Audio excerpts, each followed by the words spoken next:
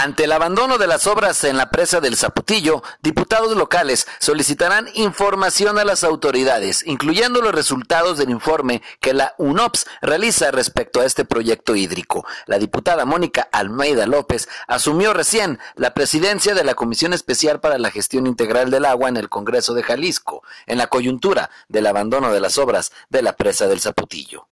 Vamos a solicitar eh, se nos informe oficialmente de los resultados del estudio NOPS, así como todos los contratos, identificar cuáles fueron los resultados y las recomendaciones y que sea insumo que será puesto a consideración de grupos más amplios. Consideramos que el, el, agua y los trabajos que haremos en la comisión será impulsando modelos de gobernanza, involucrando académicos, científicos, sociedad civil.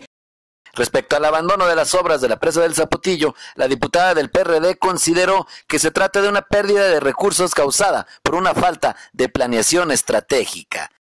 Una, una, falta terrible de planeación, un descuido de aplicar un buen marco lógico.